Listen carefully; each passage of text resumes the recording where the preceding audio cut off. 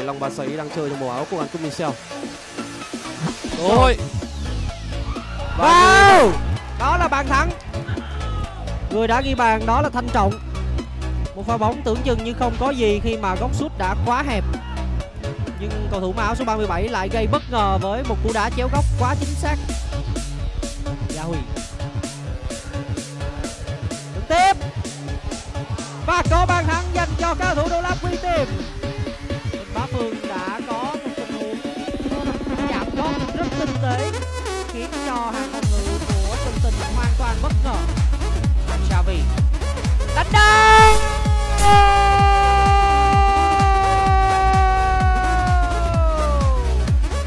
Báo đen là người lập công cho chân tỉnh. Và đánh đầu lần này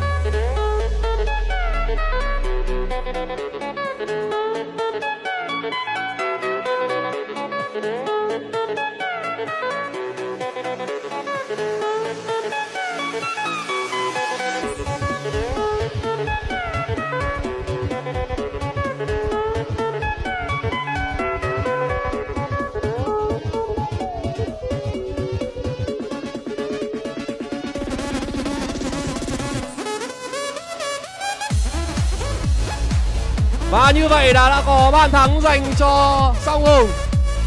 Khả năng di chuyển làm nhiễu loạn và đánh lạc hướng của lòng Phổi đã giúp cho Tuấn Vinh có bàn thắng.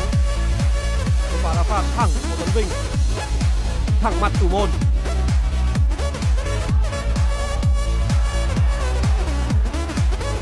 Dứt điểm. Và như vậy là đã có bàn thắng dành cho xây dựng Minh Cảnh Câu trả lời rất nhanh của đội bóng Capdevilla áp lực là không đủ với các cầu thủ song hùng để cho đối phương đá sang mặt gôn. Của rất nhiều vào tiền đạo cao to bên trên để làm tường. Và đây sẽ là một ví dụ như vậy. Bàn thắng mẫu mực của các cầu thủ song hùng. Một bàn thắng mà nó chẳng khác nào như một thuật toán được lập trình sẵn. Chỉ cần bấm nút. Chỉ cần bấm nút mà thôi. Chính xác là như vậy. Vinh. Lâm Tấn Phát Côi Lần này thì bàn thắng thứ ba đã đến với Song Hùng.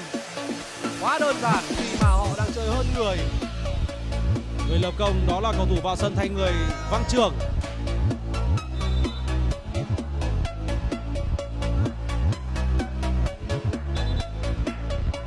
Cơ hội được xây dựng bên cạnh. Dứt điểm và tỷ số là 2-3 thời gian vẫn còn thời gian vẫn còn cho xây dựng bên cạnh thứ vẫn chưa kết thúc. Những phút chủ quan của phòng ngự song hùng. Rất Bàn dễ dàng. rất dễ dàng. Và lập công là của lâm tấn phát.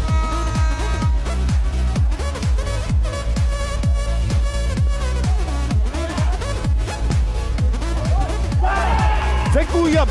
Tỷ số là một không dành cho ca thủ bất động sản Nam Dương chúng tôi đã nhắc tới sự nguy hiểm của Phantom thì vừa rồi anh lại đóng dấu ấn. Đó là một quả phối hợp đá biên. Phantom đã chọn pha đăng máu. Lâm Tơ hai nhịp. Sai lầm của Lâm Tơ. Thủ môn đầu tiên bắt chính cho ca thủ đội bóng bất động sản Nam Dương.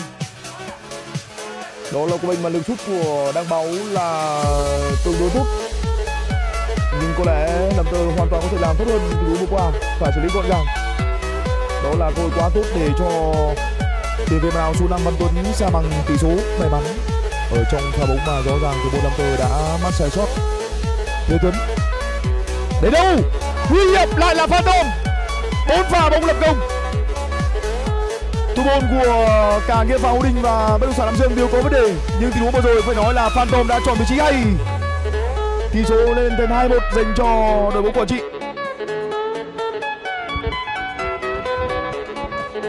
Sự thất vọng của huấn luyện viên Louis Nguyễn là điều dễ hiểu. Cả số bàn thắng mà chưa cầu thủ nào tại giải quốc gia được quốc gia tạo ra được. Bên con nguy hiểm. Vào một pha bóng không thực sự rõ ràng tuy nhiên hàng thủ của đội bóng đỏ đã vẫn chưa tập trung trong đúng quyết định này và họ đã bị sát bằng tỷ số. Thì nào được tin tưởng vào sân văn thục là người đã ghi bàn. Một chút may mắn cho các cầu thủ đội bóng nghiêm phạm vô địch. Tài đã thổi còi. Đường chuyền ngang thả bóng dứt điểm và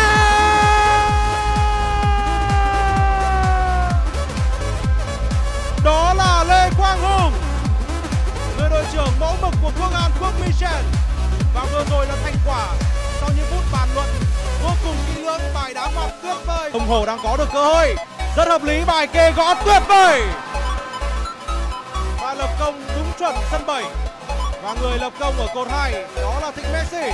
sai lầm đã bị trừng phạt đến từ đường chuyền sai của công Ramos. Và đồng hồ một lần nữa cho thấy dấu ấn của mình. Không thể có tình huống đánh đầu. Thịnh Messi cú đá ngay quá đẳng cấp Lần thứ hai mà Thịnh Messi trừng phạt pha dâng cao của Tùng xe đạp. Nhưng lần này cái kết của nó là mỹ miều. chuyền ngang dứt điểm rất tốt đó lại là cú đá của bằng trắng Số 11 có bàn thắng thứ hai tại SPL năm nay. Và đó lại là một tình huống dàn xếp đá phạt. Ấn tượng của cao thủ Lam Hồng. hôm nay thì Văn Cảm không có mặt. Trên phải, một không. Dành cho các cầu thủ của đội bóng VT FC gắng thân Manula không sao cả. Bởi ở hàng công lúc này PT đã có sự thay đổi quá kịp thời và hợp lý. Đó là Huy Đanh, bàn thắng của Quốc Huy. Cú đá quá nhanh. Cố Quy, lại là cầu thủ người Quảng Trị Cố Quy. Van Maura đúng là không sao cả. Hôm nay Cố Quy đã chơi quá hay. Hai bàn thắng ở trong trận đấu. Thậm chí là thời gian thi đấu của trận đấu này chưa trôi qua được một đường Các bàn thắng được ghi ở phút thứ 6 và bây giờ là phút thi đấu thứ 9 3 phút một bàn. 2-0 cho PT Bây giờ quả bên đá phạt trực tiếp của câu lạc bộ Hạt Đường Thương Không được. Nguy hiểm quá. Huy đinh ca thủ đỏ đang băng cao. Nguy hiểm, quá dễ dàng dành cho quốc huy. Có hai tiền đạo xuất sắc nhất ở vòng đấu này là phan tôm của các cầu thủ đội bóng bất động sản nam dương và cũng là một con quản trị khác tiền đạo huy đinh cú hat trick ba bàn thắng của anh. Phan tôm ở trên. Ở trường hồng tung long tính Tùy đấy, đúng bài rồi. Cú đá làm tung bật lưới đối phương. Rất tốt.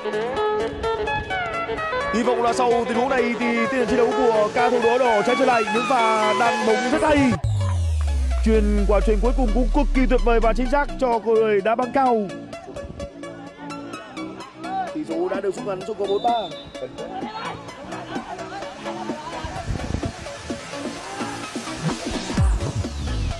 Nguy hiểm quá nhịp nhàng.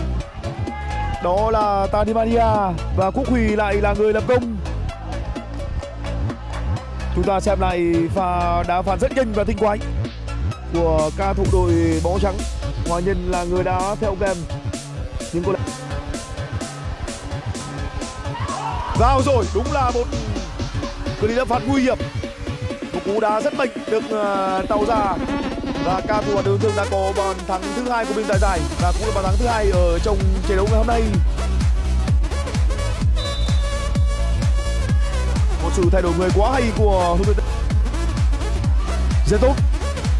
Đáy biên rồi. Trả ngược thắng ngang. Vào! ba bốn. ba bốn cho ca thủ đội bóng hạt điều thương thương.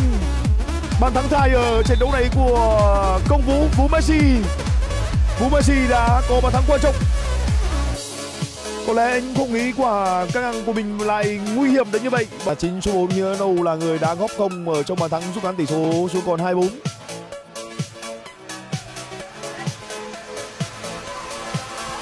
rất khéo. Mất chết năm đây ba. Tỷ số được sẽ bằng bốn đều. Bốn đều. Năm đây ba. Nam như cá gặp nước, kể từ khi anh được bố trí đá hồ về phải. Bây giờ đích thân cầu thủ, một trong các cầu thủ chơi sông sáo nổi bật nhất của ca thủ đường thường đã ghi bàn. Bốn đều. Nam Neymar Anh Việt, cơ hội. Quay. Cú đúp dành cho Nanema ở trong trận đấu ngày hôm nay. Nanema đã có bàn thắng thứ hai tại trận đấu này, để lên tỷ số trận đấu lên 5-4 nhưng công đầu là anh Việt. Một pha làm tường quá nhịp nhàng thực tế trước đó ở bài khi xuất hiện thì anh Việt luôn là người hút đồ vệ hoặc làm tường rất tốt.